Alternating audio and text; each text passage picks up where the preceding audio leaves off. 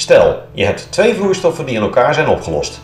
En stel dat je die uit elkaar wilt halen.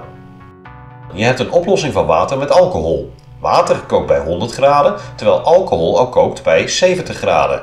Dus als je je vloeistof opwarmt tot 70 graden, dan zal de alcohol verdampen en het water blijft vloeibaar achter. En zo simpel werkt een destillatietoren. Je verwarmt je vloeistof onder in je toren tot het kookpunt van de lichtste vloeistof, alcohol, waardoor die verdampt. Bovenin de toren vang je die damp weer af en condenseer je die met een koeler. Zo komt er vloeibare alcohol uit de top van je toren en hou je het water onderin je toren vloeibaar over. Maar zo makkelijk als het klinkt, is het in de praktijk echter niet. Want als je je alcohol-watermengsel opwarmt tot 70 graden, zal er ook een beetje water mee verdampen. En dat wil je niet.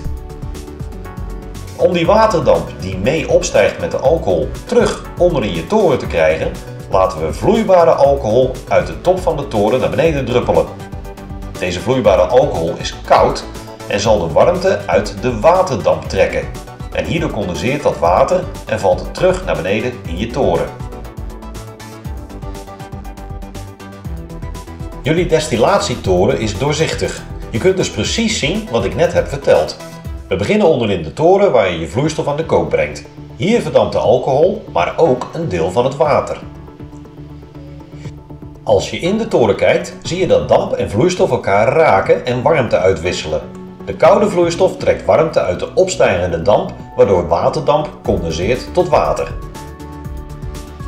Je kunt in jullie toren de dampbellen in de vloeistof zien dwarrelen. En hierin zit de truc van een destillatietoren, de uitwisseling van warmte.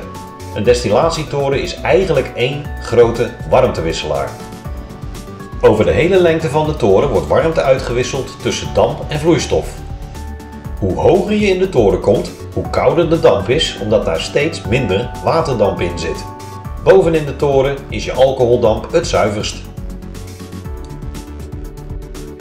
De alcoholdamp kun je in de topcondensor zien condenseren. De onzichtbare damp wordt vloeistof die onder in je condensor zichtbaar wordt en terugstroomt naar je toren.